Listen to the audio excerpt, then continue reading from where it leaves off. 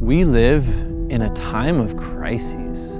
Fire, flood, drought, famine, war, refugees, climate change.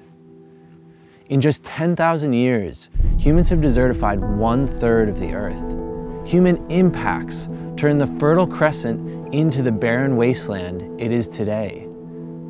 Anthropogenic water cycle disturbance is resulting in climate change.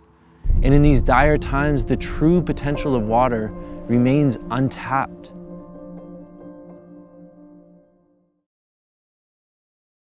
Do you know how much of the global heat dynamics are regulated by carbon? You'd think it's a lot, but it's actually somewhere between 4 and 20%. How much is regulated by water? 75 to 95%. And if you dig deep enough with each of these crises, the root causes involve water. I've had the privilege to work alongside some of the world's leading practitioners, the humans actively restoring their biome. Now I operate a business implementing these changes around the world. By storing the seasonal rains in the earth body, we can not only prevent these crises, but also restore the health of our planet. We can not only rebalance our climate, but also guarantee future generations clean water.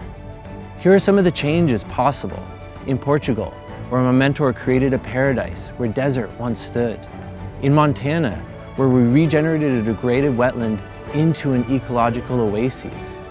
It's time for humanity to tap into water's potential and to reclaim our role as stewards. Which future do you want? Desert or paradise?